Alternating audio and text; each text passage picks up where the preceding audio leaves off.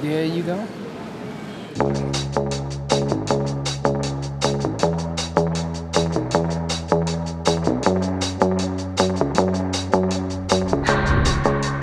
Can keep my hands on myself. Pick dust them off,